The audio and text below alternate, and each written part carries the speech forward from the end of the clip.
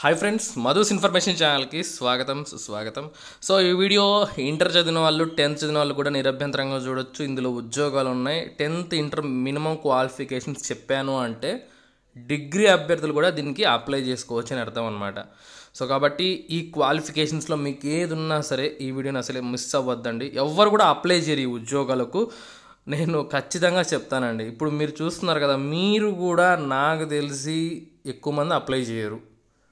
ఏందన్నా ఇట్టంటున్నావు? ఏందో ఉంది స్వామి నోటిఫికేషన్లో అనుకుంటున్నారా?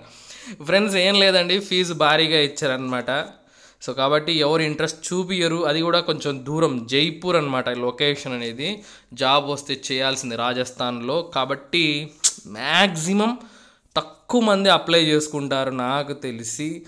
ఎవరైతే జాబ్ కంపల్సరీ అనుకున్న వాళ్ళు తప్పకుండా అప్లై చేసుకుంటారు. మేబీ. చూద్దాం. ఎంతమంది అప్లై చేసుకుంటారు ఎంతమంది అప్లై చేసుకుని కింద కామెంట్లో నాకు తెలియజేయండి. సో ఏ నోటిఫికేషన్ అయినా సరే మీ దగ్గరికి తీసుకురావాలి కాబట్టి ఈ నోటిఫికేషన్ తీసుకొస్తున్నాను. అయితే ఎక్కువ మంది అప్లై చేయరు కాబట్టి నాకు తెలిసి జాబ్ వచ్చే ఛాన్సెస్ అయితే బాగుంటాయని నేను అనుకుంటున్నానండి.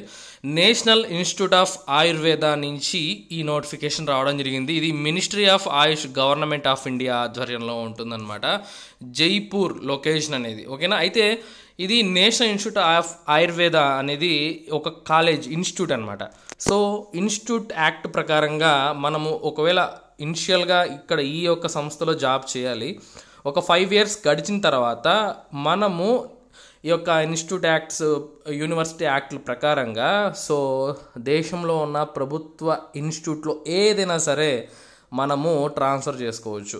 నేషనల్ ఇన్స్టిట్యూట్ ఆఫ్ ఆయుర్వేద హైదరాబాద్లో ఉన్నట్లయితే సో అక్కడికైనా సరే మీరు ట్రాన్స్ఫర్ చేసుకోవచ్చు. లేదంటే వేరే ఇన్స్టిట్యూట్ ఏది ఉన్నా సరే మీరు ట్రాన్స్ఫర్స్ అయితే పెట్టుకోవచ్చు అనమాట యూనివర్సిటీ యాక్ట్ ప్రకారంగా. కాబట్టి మీరు అన్ అంత దూరమా అని ఆలోచించొద్దు. జాబ్ కోసం కొంచెం దూరం వెళ్ళాల్సి ఉంటుంది. సో ఇక్కడ మనకేంటి అంటే స్టెనోగ్రాఫర్ ఒక ఉద్యోగము తర్వాత లైబ్రరీ అసిస్టెంట్ ఒక్క ఉద్యోగము లోయర్ డివిజన్ క్లర్క్ మూడు ఉద్యోగాలు మల్టీ టాస్కింగ్ స్టాఫ్ పదకొండు ఉద్యోగాలు అయితే విడుదల కావడం జరిగిందండి.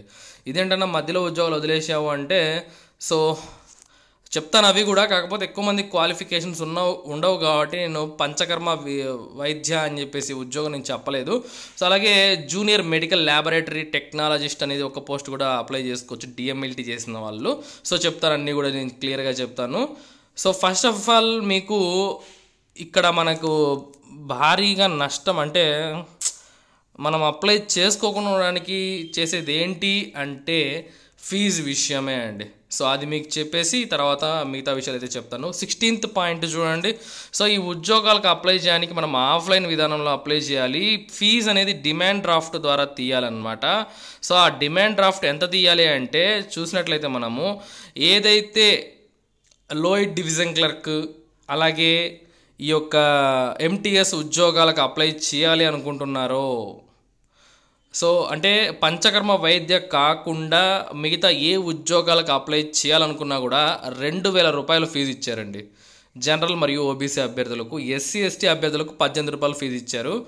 ఈడబ్ల్యూఎస్ క్యాండిడేట్స్ కూడా పద్దెనిమిది రూపాయలు ఫీజు అయితే పే చేయాలి. జనరల్ మరియు ఓబీసీ వాళ్ళు మాత్రము రెండు వేల రూపాయలు ఫీజు అయితే పే చేయాలండి. బట్ చాలా ఎక్కువ ఉంది కదా నాకు తెలిసి అందుకే చెప్పాను. అందుకే ఫస్ట్ ఆఫ్ ఆల్ ఆ విషయాన్ని అయితే చెప్పాను మీకు. ఇప్పుడు ఆ క్వాలిఫికేషన్ గురించి మాట్లాడుకుందాం. మల్టీ టాస్కింగ్ స్టాఫ్ పదకొండు పోస్టులు ఉంటే ఎస్సీకి ఒకటి ఎస్టీకి నాలుగు ఓబీసీకి రెండు ఓపెన్ కేటగిరీకి మూడు ఉద్యోగాల్ని కేటాయించారనమాట సో దీనికి ఏంటి క్వాలిఫికేషన్ అంటే టెన్త్ స్టాండర్డ్ అండి. టెన్త్ కేవలం టెన్త్ అనమాట అంతే ఇంకా పర్సంటేజ్తో కూడా పనిలేదు పద్దెనిమిది వేల రూపాయలు బేసిక్ పే పద్దెనిమిది వేలు బేసిక్ పే సెంట్రల్ గవర్నమెంట్ డిపార్ట్మెంట్లో అంటే మనకు ఇరవై ఐదు వేల రూపాయలు తీసుకోవచ్చు అనమాట ఇరవై ఐదేళ్ళకు మించకూడదు జనరల్ మరియు ఓబీసీ సారీ. జనరల్ క్యాండిడేట్స్ ఇరవై ఐదేళ్ళకు మించకూడదు అనమాట ఎస్సీ ఎస్టీలకు ఐదేళ్ళు ఓబీసీకి మూడేళ్ళు ఈ విధంగా రిలాక్సేషన్ ఉందన్నమాట. తర్వాత లోయర్ డివిజన్ క్లర్క్ చూసినట్లయితే మూడు పోస్టులు ఉంటే రెండు ఓపెన్ కేటగిరీకి ఒకటి ఓబీసీ వాళ్ళకి కేటాయించారు. ట్వెల్త్ స్టాండర్డ్ పాస్ అంటే ఇంటర్మీడియట్ పాస్ అవ్వాలి వాళ్ళందరూ కూడా thirty five words per minute అనేది ఇంగ్లీష్లో కంప్యూటర్లో టైప్ చేయగలిగి ఉండాలి. పంతొమ్మిది వేల తొమ్మిది వందల రూపాయలు బేసిక్ అంటే ముప్పై వేల రూపాయలు శాలరీ తీసుకోవచ్చు. సో ఇరవై ఏడేళ్ళకు మించకూడదు అనమాట జనరల్ కేటగిరీ అభ్యర్థులు. అదే మీరు ఎస్సీ ఎస్టీ వాళ్ళైతే ఐదేళ్ళు ఓబీసీ వాళ్ళైతే మూడేళ్ళు రిలాక్సేషన్ అయితే ఉంటుంది. తర్వాత మనము లైబ్రరీ అసిస్టెంట్ ఒక్క పోస్ట్ చూసుకున్నట్టయితే ఓబీసీ వాళ్ళకి కేటాయించేశారు. టెన్త్ క్లాస్ ఉండి లైబ్రరీ సైన్స్లో వన్ ఇయర్ సంబంధించిన సర్టిఫికేట్ ఉండాలి మీ దగ్గర. Tenth one year library science సంబంధించిన సర్టిఫికేట్. పంతొమ్మిది వేల తొమ్మిది వందల రూపాయలు బేసిక్ పే ముప్పై ఏళ్ళు అనేది అప్రేజ్ లిమిట్ ఇచ్చారనమాట అంటే ఎస్సీ ఎస్టీ వాళ్ళు ముప్పై ఐదు ఏళ్ళు ఉన్నా సరే అప్లై చేసుకోవచ్చు. ఓబీసీ వాళ్ళు కేటాయించారు కాబట్టి ఈ రిలాక్సేషన్ వర్తించవండి. కేవలం ఓబీసీ వాళ్ళు ముప్పై ఏళ్ళున్నా అప్లై చేసుకోవచ్చు అనమాట జూనియర్ మెడికల్ ల్యాబొరేటరీ టెక్నాలజిస్ట్ ఒక పోస్ట్ ఉంది. ఓపెన్ కేటగిరీ ఇచ్చారు కాబట్టి ఎస్సీ ఎస్టీ ఓబీసీ అందరు కూడా ఎలిజిబుల్ ఓపెన్ కేటగిరీకి ఇచ్చారు కాబట్టి ఇంటర్మీడియట్ పాస్ అయి ఉండాలి. సో ఇక్కడ మీరు బాగా గమనించాలి. ఇక్కడ లోయర్ డివిజన్ క్లర్క్కి పాస్ ఇన్ ట్వెల్త్ స్టాండర్డ్ అని చెప్పిచ్చారు. ఓకేనా? కానీ ఇక్కడ జూనియర్ మెడికల్ ల్యాబొరేటరీ టెక్నాలజిస్ట్కి టెన్ ప్లస్ టూ అని ఇచ్చారు. అర్థం చేసుకోండి ఇక్కడ. ట్వెల్త్ స్టాండర్డ్ అంటే కంపల్సరీ ఇంటర్మీడియట్ అనమాట టెన్ ప్లస్ టూ అంటే పదో తరగతి తర్వాత రెండేళ్ళు డిప్లొమో కానీ ఐటీఐ కానీ ఇంటర్మీడియట్ కానీ ఏదైనా పర్లేదు. సైన్స్ సబ్జెక్ట్లో చదివి ఉండాలన్నమాట. డిఎంఎల్టీ చేసి ఉండాలి వాళ్ళు. వన్ ఇయర్ ఎక్స్పీరియన్స్ కూడా అడిగారం అడగడం జరిగింది. ఇరవై తొమ్మిది వేల రెండు వందల రూపాయలు బేసిక్ పే అండి. ఓకేనా? మీరు దగ్గర దగ్గర నలభై వేలకు పైగానే అంటే యాభై వేల దగ్గర టచ్ అవుతుంది శాలరీ తీసుకోవచ్చు. ట్వంటీ ఎయిట్ ఇయర్స్ అనేది ఆపరేజ్ లిమిట్ ఇచ్చారు.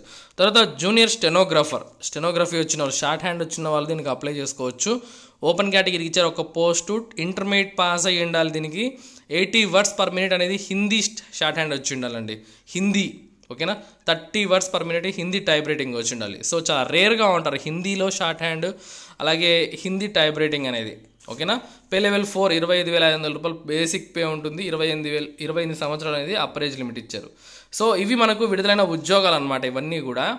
సో మనం వీటికి ఇండియన్ సిటిజన్స్ ఎవరైనా సరే అప్లై చేసుకోవచ్చు. అంటే ఏపీటీఎస్ వాళ్ళు నిరభ్యంతరంగా అప్లై చేసుకోవచ్చు ఉద్యోగాలకు. సో ఆఫ్లైన్ విధానంలో పంపేయాలి. అప్లికేషన్ ఫామ్కి మన జిరాక్స్ సర్టిఫికేట్స్ అనేవి సెల్ఫ్ అటెస్టెడ్ చేయాలి. అంటే మనమే వాటిపైన సంతకాలు చేయాలి. టెన్త్ పైన ఇంటర్ పైన సంతకాలు చేయాలి మనము. సెల్ఫ్ అటెస్టెడ్ అంటే అదే అనమాట తర్వాత ఒక ఫోటో పేస్ట్ చేసి దానిపైన కూడా సెల్ఫ్ అటెస్టెడ్ చేయాలండి.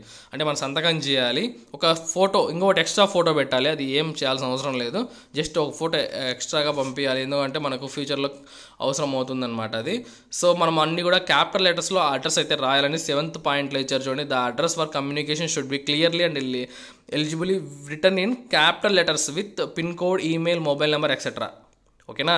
అర్థమైంది కదా? సో పాయింట్ లెక్చర్ మెన్షన్ చేశారు కాబట్టి మనం ఎట్టి పరిస్థితుల్లో స్మాల్ లెటర్స్లో రాయకూడదు. అలా రాస్తే రిజెక్ట్ అవుతుంది. అరవై రోజుల లోపల మనం దీనికి అప్లై చేసుకోవాలి. మనకు ట్వంటీ ఫోర్త్ నవంబర్న విడుదలైంది నోటిఫికేషన్. అంటే మనకు సిక్స్టీ డేస్ అంటే జనవరి ట్వంటీ థర్డ్ వరకు టైం ఉంది. సో జనవరి ట్వంటీ థర్డ్ లోపల మీరు పంపించాలి. మీరు పంపించాల్సిన అడ్రస్ ఏంటి అంటే the director national institute of Ayurveda Jorawar Singh gate Amer road Jaipur. Three zero two double zero two.